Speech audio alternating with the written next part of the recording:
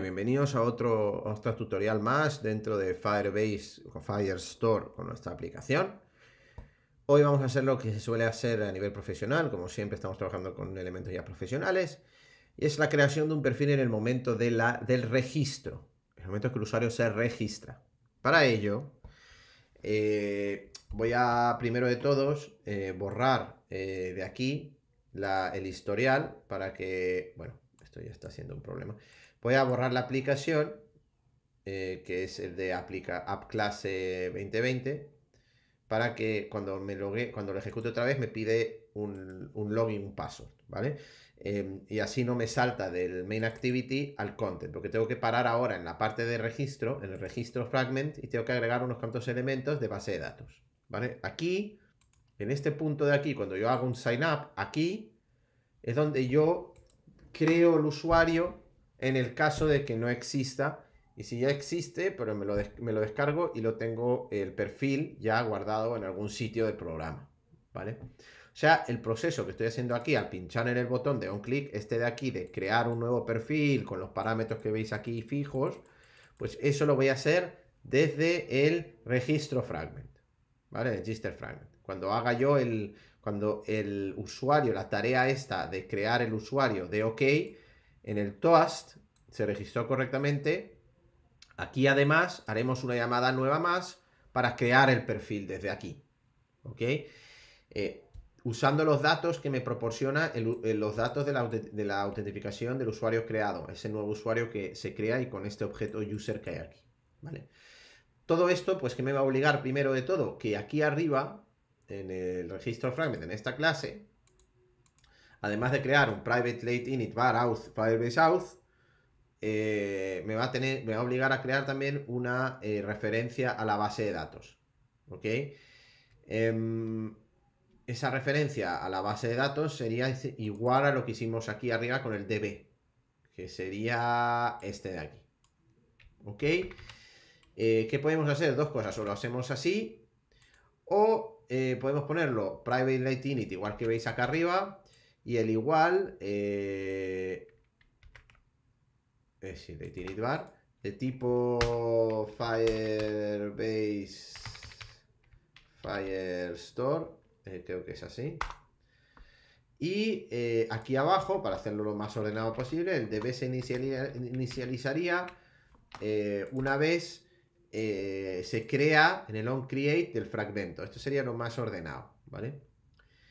Em, ya tengo el DB, ¿ok? Y ya puedo trabajar con ese DB para crear ese nuevo perfil. ¿Qué podemos hacer? Pues en vez de tenerlo todo aquí metido ahí a lo bestia, podríamos crear, es lo que voy a hacer, una función que se llama crear nuevo perfil, ¿ok? Eh, esa función pues va a ser lo mismo que hacen, que hacemos, eh, perdonan, que hacemos aquí. O sea, lo voy a copiar y pegar. Es decir, eh, ¿Dónde está el on click? Este. Estas líneas de aquí lo voy a hacer allí. Sería igual. O sea, creo el perfil. ¿Ok? Este nuevo perfil es objeto, nuevo perfil. Le doy valores. Eh, aquí le estoy dando unos valores por defecto. usando la clase profile 2 de aquí. Y lo inserto en la línea eh, de documento aquí. ¿Vale? Em, bien. ¿Qué tenemos que diferenciar un poco aquí? Uno, importante. El ID, el ID va a ser el mismo ID que nos genera cuando creamos en la tabla de autentificación este ID de aquí. ¿Y cómo lo extraemos? Este es el que vamos a usar, no un DNI. Porque para después, cuando hagamos la select, cuando hagamos la petición de descarga del perfil, cuando se loguee, no cuando se registre, va a ser mil veces más fácil utilizar este ID. Este es el ID, no el correo electrónico sino este es el que vamos a usar en toda nuestra base de datos para identificar al usuario. Este es el ID único de él. Es como, si, es como en la seguridad social, no sé si sabéis, que el número de seguridad social es el que se usa para identificar a las personas, no su DNI. El DNI es un parámetro más, es el número de seguridad social, que es un código único del sistema de seguridad social. Pues en el vuestro no es el correo ni el DNI y tal, es este número de aquí. ¿Cómo lo vinculo? Pues en el momento de que se crea el usuario, se te crea también una línea aquí con un ID nuevo. Y ese es el que hay que capturar y metérselo aquí. ¿Y cómo lo hago? Pues cuando yo cree el usuario, va a entrar por esta if diciendo task is successful. O sea, el usuario se creó correctamente. Y el objeto que va a tener el ID es este de aquí, el current user o el user. Si yo hago user.uid, tengo el ID, eh, bueno, aquí me imagino que poner una doble exclamación, tengo el ID, eh, precisamente ese parámetro de ID que se ha creado en ese momento cuando se registró. Este hay que pasárselo aquí. ¿Cómo lo hago? Pues puedo aquí crear tranquilamente, ¿vale? Un bar, eh, bueno, no hay que poner bar, es ID eh, nuevo usuario string, ¿vale? Ese ID nuevo usuario, en vez de ponerlo aquí a mano, lo pongo vinculado a esta variable de aquí y esta llamada esta función la hago desde aquí. Una vez se crea el perfil, se crea el usuario, pues llamo a crear perfil y de aquí va a saltar acá arriba y va a seguir el programa por aquí adentro. Yo el toast, en vez de ponerlo aquí, lo pondría aquí. Porque ahora se agrega un paso más. Aunque, aunque esto tenga éxito, pero si esto tiene fracaso, si esto fracasa, entonces, bueno, podemos ponerlo en los dos sitios. Podemos decir, mira, se ha creado, se registró correctamente el auth, ¿no? En la parte de autentificación. Y luego aquí podemos poner, eh, se podemos poner perfil creado correctamente. Entonces, y ahí las dos pasos, primero crear el usuario en el sistema de autentificación y luego en la base de datos, se crean correctamente. Ahora les digo una cosa, no es obligatorio hacer esto. Eh, digo yo, no es necesario tener un perfil en la base de datos, no hay que agregar más datos al usuario, pero por ejemplo, si nosotros nos gustaría meter más datos al usuario, en la tabla de autentificación que veis aquí, no me entra más datos. Yo quiero, por ejemplo, poner como ellos pusieron, el nombre, apellido, no sé qué, no sé cuánto.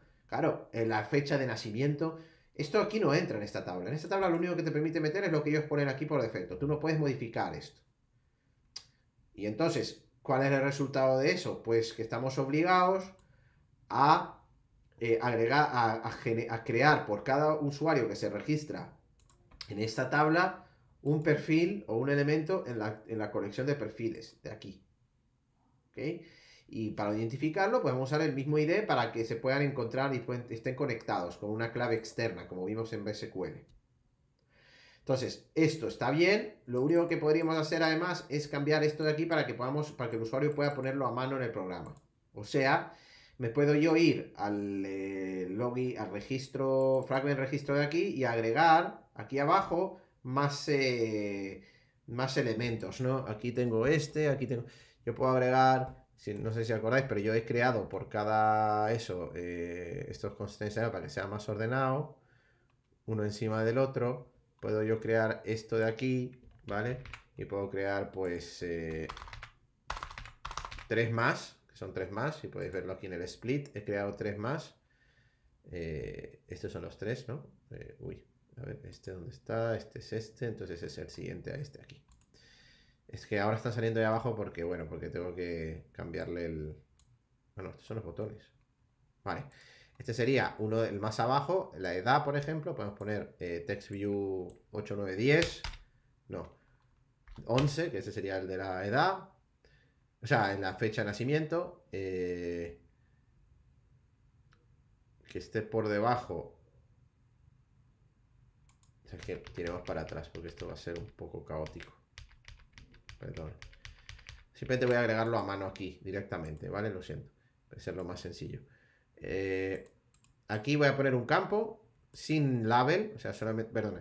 Aquí voy a poner un, eh, un plain text de estos para meterlo a mano, sin label, ¿vale? Em, asociado a la parte de arriba, no, asociado a este, ¿vale? Y a los costados, con una distancia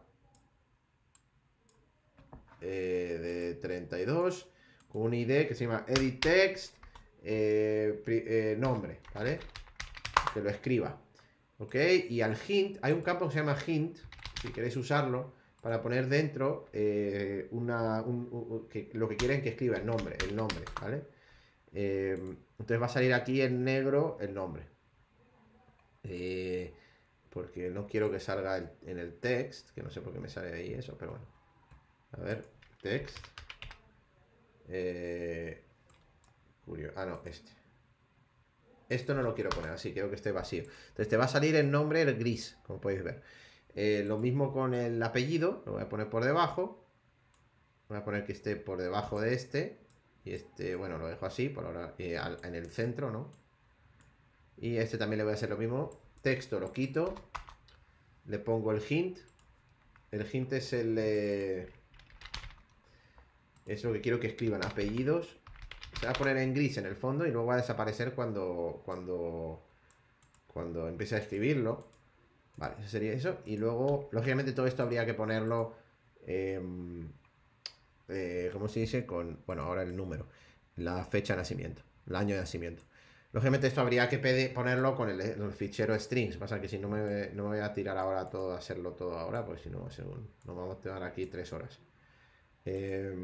32, em, el hint, eh, año, nacimiento, ¿vale? Entonces, ya tengo estos tres campos, tengo que darle serie de vincularlos, ¿no? Es decir, tengo que venir aquí y decir, bueno, edit text, eh, año, eh, eh, year, factor, edit text, apellidos, refactor y el nombre, ¿vale? tres campos que hay que luego ir aquí al registro y vincularlos acá arriba, como siempre. Aquí ya lo tengo unos cuantos, por lo que puedo hacer un late init, bar, edit text, nombre, de tipo edit text, eh, copiar y pegar esto, tres veces más, edit text, apellidos, de tipo edit text, edit text, eh, año, eh, year, de tipo edit text, con estos tres ya tengo las variables, tengo que vincularlos con el find you by id, como veis aquí, voy a copiar y pegar también. Para no tener que repetirlo tres veces. Voy a poner un poco separado. De todas formas, edit text nombre. Edit text eh, apellidos. Edit text eh, year. Me vengo aquí y pongo edit text nombre. Edit text apellidos. Edit text y ya están vinculados al elemento visual. Voy con esto y cuando yo le dé pasar por aquí, directamente voy a directamente llamar a edit text nombre.text hay que poner la doble exclamación o a tu string. Bueno, vamos a hacerlo entonces por variables que eh, el nombre igual a de tipo string igual a edit text nombre.text punto to string Copio y pego tres veces esto. Y le pongo aquí nombre, apellidos, eh, eh, año, o sea, year. Esto sí, esto es un int, no es un string, por lo que voy a tener que ponerlo to int. Ah, no sé si da to int, no sé si permite, o entonces habría que hacer to string.toInt, ¿vale? Sería que hacer una doble cast ahí. Esto sería et apellidos esto sería et year. Entonces ya está casi todo vinculado. Y aquí le paso los valores que le ponga yo ahí. Y en un principio ya está todo conectado, ¿vale? Ya está conectado el elemento visual, estos tres campos de aquí, aquí, para que cuando yo crea un nuevo perfil, coja los datos de la pantalla y los crea aquí en la, en la sección de base de datos de perfil. El ID, pues ID nuevo usuario, se lo va a pasar el que está acá. Y una cosa más, como, bueno, sí, como ya lo tengo aquí, pues eh, ya lo estoy asignando también al campo interno, ¿no? Lo estoy usando aquí para asignárselo al campo externo, al recordar que el ID va a salir en dos lugares, en esta columna de aquí, como sale aquí, y en esta columna de aquí, o sea, para tenerlo, para usarlo dentro de la aplicación, si os acordáis, este campo sí que al final lo tengo que agregar porque si no, el campo lo pierdo, ¿no? O sea, no hay, quiero tenerlo que adentro, para luego trabajar con él en el objeto este. Si ahora ejecuto, vamos a ver que se cree el usuario, ¿vale? Vamos a ver cómo se crea y vamos a ver juntos cómo se crea. Entonces yo voy aquí, se ejecuta la aplicación, hago un sign up meto, por ejemplo, Yoni3, 4, eh, venga, Yoni4, arroba, Yoni4.com. Password 1, 2, 3, 4, 5, 6, 7, 8, 9, 0. Otra vez, password 1, 2, 3, 4, 5, 6, 7, 8, 9, 0.